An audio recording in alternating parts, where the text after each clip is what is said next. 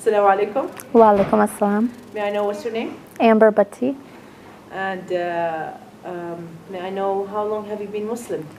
About 13 years. Oh wow. And uh, may I know what were you before you became Muslim and what age were you if you don't mind? Um, actually, when I converted, I was 17. Before I converted, I didn't have a religion. My parents didn't really practice religion in the home. They went in and out of churches, different churches, and Mormon, Catholic, you name it. And I went to church with my friends, and it was only Baptist church. And um, I used to argue with the Sunday school teacher about how Jesus could possibly be the Son of God. They would always shut me up. So I knew that was not the religion for me. So, anyways, fast forward from when I was a kid. Um, when I was 14 in ninth grade, I um, had a wonderful history teacher, world history teacher, who talked about all the different religions throughout the world. Basically, he emphasized a lot on Islam, even though he was a very devout Christian. But he talked about the peacefulness of Islam versus anything else. And I found it very intriguing. I happened to have a friend who was a Muslim, and I mentioned it to him, and um, subhanAllah, the next day, he gave me the Quran. So I kept that Quran at home for, um, you know, when I was 14 until, you know, I moved out and everything. Kept it locked up in a cabinet. My parents never knew I was reading it. I compared it with the Bible. I read the whole Bible. I read the Quran. Compared what did I like and what were the differences. And it didn't seem much, but the things that were in the Quran were way more peaceful mm. described, peacefully described than what was in the Bible. So when I turned 17, I had graduated high school. Two months later, I married said friend who gave me the Quran. And um, two months after that, we had did a court marriage. And then two months after that, we did a nikah in this mosque. And I took my um, shahada within my heart.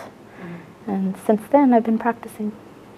Wow. Uh, now, uh, what was your parents' reaction about that? It was like a fast movement I see in your life that happened when you were like 17, 18 years old.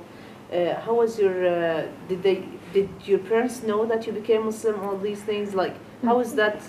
You know, the process of all that. They knew I became Muslim about a week after I did. And I sent them an email because I didn't want to see the reaction, you know, um, Yeah. face to face. So I sent an email and they took it surprisingly very well. And um, I remember one time I was shopping with my mom and somebody asked her, the cash register lady, nice Pakistani lady, she asked her, she said, um, What do you think about your daughter wearing this? I was standing right there, completely covered.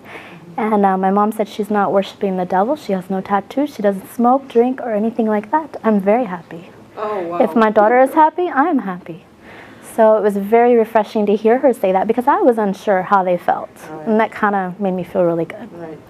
Um, wow. Now, were your parents living with you at that at that time? Can you talk about- No, when I when I turned 17, two months, um, I graduated that same month. Two months later, I married. So Oh wow. So oh wow, that was a really fast movement Yeah. in your life. That's good. definitely. And uh, was your life uh, after Islam? Have you turned back to Christianity or tried to think about it, or uh, or, or can you tell us a little bit about about now? What what do you what, how do you think about it after all these years that uh, that you came through Islam and all these? I think I went through a lot from the time I was a child until I became a Muslim. A lot more than most kids do. And I feel like since Islam came, everything's put into place. It's more peaceful. I feel more relaxed with myself, with everything around me. Everything is fine. And uh, what would you give a message for uh, Muslims or non-Muslims?